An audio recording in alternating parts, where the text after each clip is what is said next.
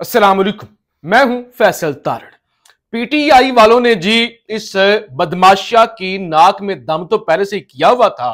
Establishment से लेकर ये सारी पॉलिटिकल अलीट एक पीटीआई का मुकाबला नहीं कर सकी। हर तरह का जुल्म, जबर, रियासती मशीनरी का इस्तेमाल। उसके बावजूद पाकिस्तान की सबसे बड़ी जमात बन के उभरी पीटीआई।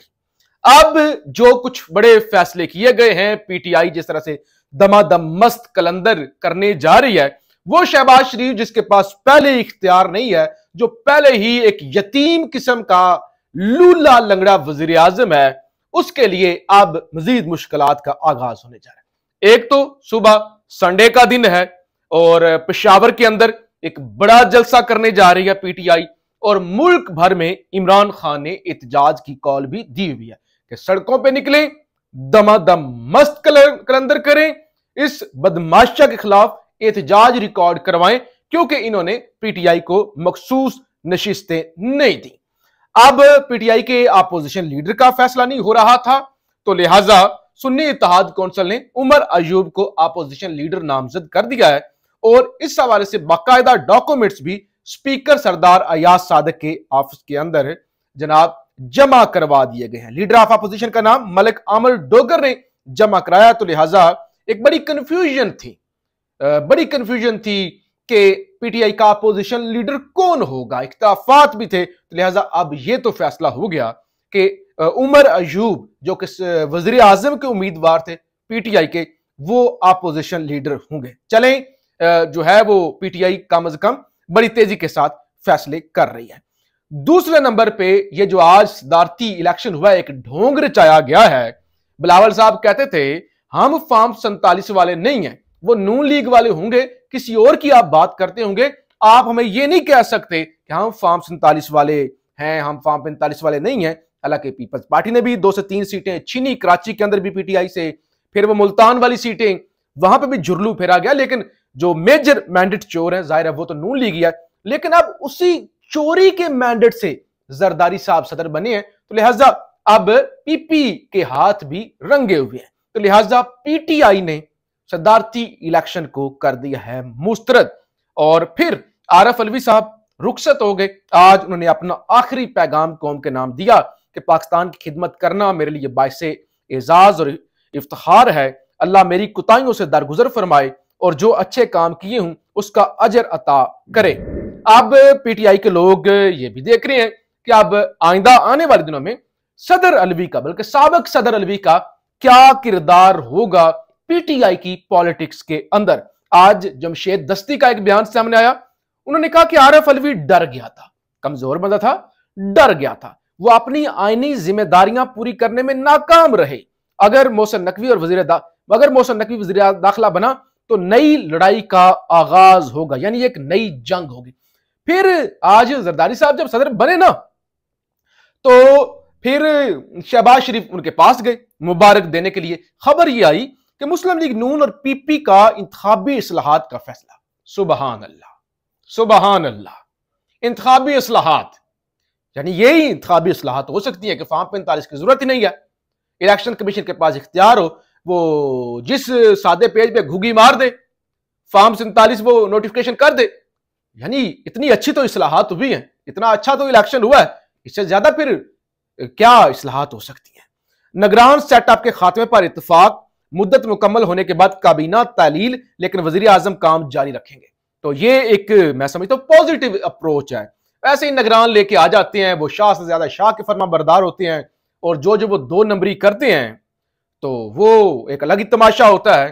लेकिन पाकिस्तान के अंदर चाहे नगरान हुकूमत हो, चाहे ना हो जब इलेक्शन कमीशन ही कंट्रोल है, जो रेफरी है, जो रेफरी है, जिसने मैच करवाना है, जिसने इलेक्शन करवाना है, जब वो ही बेशरम है, जब वही कंट्रोल्ड है तो फिर क्या निगरान सेटअप कराए, क्या वज़ीर आज़म कराए, यानी कुछ भी इसे उम्मीद नहीं रखी जा सकती। सुबह, एतवार का दिन, पीटीआई दमादम मस्त कलंदर करने जा रही है। शेर अफजल मरवत ने पैगाम जारी कर दिया है कि कल डर और खौफ के बुत तोड़कर बाहर निकलना है। अगर हम पर किसी ने अटैक किया तो वो इस्लामाबाद या पिंडी का ही होगा। हम हर सूरत काल निकलेंगे, एहतजाजी रैलियों की क्यादत खुद करूँगा। उन्होंने कहा कि अब कोई डरना नहीं है, अब सर पर कफन बांधकर बाहर निकलना है। फिर सदारती उम्मीदवार महमूद खान अचक जई ने आज एक बड़ी बात की।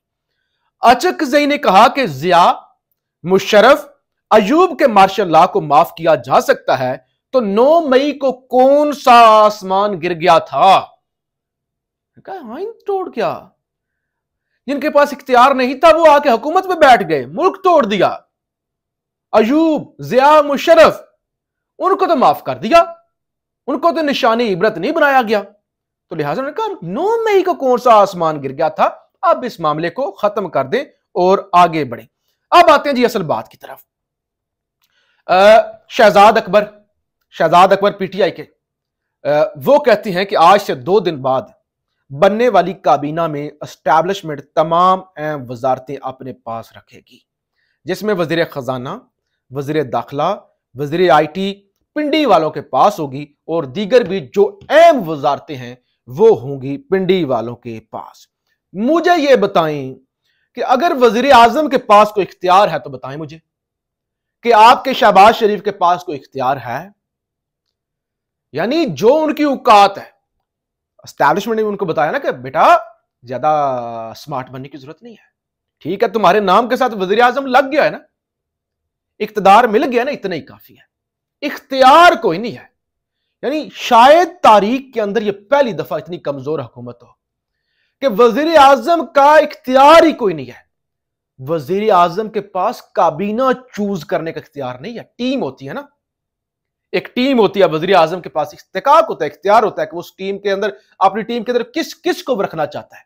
नहीं है इख्तियार। अगलों ने कहा, ज़्यादा चलाकी और ज़्यादा होशियारी करने की बिल्कुल भी ज़रूरत नहीं है। कोई इख्तियार नहीं है। इकोनॉमी कौन चलाएगी? एस्टैब्लिशमेंट। आईटी कौन चलाएगी? एस्टैब्लिशमेंट। जब दिल चाह, स्विच मरोड़ दिया, इंटरनेट बंद कर दिया, सोशल मीडिया बंद कर दिया। वजारत खारजा कौन चलाएगी? दाखिला जिसके अंडर सारी सिक्योरिटी होती है एजेंसीज होती हैं, वो कौन चलाएगी? अस्टैब्लिशमेंट फिर मुझे यह बताएँ कि कौन से इख्तियार है वज़ीर आज़म के पास? वज़ीर आज़म के इख्तियार सलब हो चुके हैं, महदूद नहीं, खत्म हो चुके हैं। वज़ीर आज़म इतना भी बाख्तियार नहीं है जितना नगरान वज़ीर आज़म नवारुल हक काकड़ था। और यह एस्टैब्लिशमेंट इस हुकूमत को भी ऐसे ही चलाना चाहती है जैसे नगरान हुकूमत थी, और सारे नाम ही निगरानों वाले हैं। सरफराज बुगटी कौन है? बलोचिस्तान का चीफ मिनिस्टर। नगरान वज़ीर दाखिला। वो जिसको चेयरमैन सेनेट बनाने की तैयारियाँ नवारुल हक काकड़, वो कौन है? ये जो मोहसन नकवी वज़ीर दाखिला आ रहा है, वो कौन है? नगरान? खजाना किर के पास होगी? तो लिहाजा शहबाज शरीफ के पास कोई इख्तियार नहीं है। जरदारी के पास भी कोई नहीं होगा। अगर कोई समझते ना कि जरदारी के पास बड़े इख्तियार होंगे, नहीं होगा। सारों के पास चोरी का मैंडेट है। अगर उन्होंने बताया उकात से ज़्यादा बाहर होने की ज़रूरत नहीं है। किसी की पंद्रह सीटों वाली उकात है, किसी की बीस सीटों वाली उकात है। तो लिहाजा, बस इतनी आपके नाम के साथ लगे ना सदर ठीक है चौड़े हो जाए चौड़े हो जाए। अच्छे अच्छे कपड़े पहने, गाड़ियाँ होंगी टू टा होगी, बस इतना काफ़ी है। शहबाज शरीफ नाम के साथ वज़ीर आज़म बस ठीक है। इख्तियार वाली कोई बात नहीं है। टीम डिसाइड करने वाली, फैसला लेने वाली कोई बात नहीं। बस चिल करो। खेलो। बादशाह बादशाह खेलो, सदर सदर खेलो वज़ीर आज़म वज़ीर आज़म खेलो। अच्छा ये खबर सुनिए, पंजाब हाउस में शहबाज शहबाज नवाज़ बैठक वफाकी कबीना के नाम फाइनल निजी बैंक के सीईओ मोहम्मद औरंगज़ेब को मशीर खजाना बनाने जाने का फैसला। ये कौन है? स्टैब्लिशमेंट का बंदा इसहाक डार को वजारत खजाना का कलमदान सौंपने जाने का फैसला, इस पर भी स्टैब्लिशमेंट को एतराज़ है। अभी ये फाइनल नहीं हुआ इसहाक डार अताउल्ला तारड़ को वजारत इतलात मोहसन नकवी को मशीर दाखिला सौंपने। मोहसन नकवी का ताल्लुक वैसे नून लीग से ही है ना? नून लीग से ही है? अच्छा आज़म नजीर तारक तारक फजल चौधरी चौधरी एहसन इकबाल, नसीर सद्दू को विफाकी कबीना का हिस्सा बनाने का फैसला मुसदक मलक वफाकी वजी तोानाई बनाने का फैसला, ख्वाजा आसफ वजी दिफा, एहसन इकबाल को वफाकी वजी मनसूबा उन्होंने कहा, ये मनसूबा बंदियों वाली छोटी मोटी वजारतें जो है ना, ठीक है, चलाओ, शौक पूरा करो, शौक पूरा करो, ठीक है, अच्छी बात है, आपको भी कुछ थोड़ा सा अपने आगे पीछे करें गाड़ियों शाड़ियों अच्छी झंडा शंडा लगा लें, बस इतनी। बाकी जो की रोल है ना जो पूरी रियासत को चलाना होता है, जो अहम इंतज़ाम होता है, बड़े फैसले होते हैं, वो हम खुद करेंगे।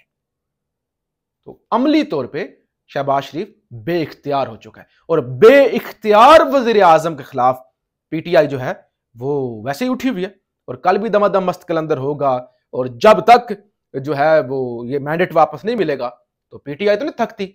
वो तो सड़कों पर रहेंगे तो लिहाजा शहबाज शरीफ की नाक के अंदर इतना दम हो जाएगा कि ये पछताएँगे। नवाज़ भी पछताएगा, शहबाज भी पछताएगा कि हमारे साथ हुआ क्या है। हमने कर क्या लिया है? पाकिस्तान, जिंदाबाद।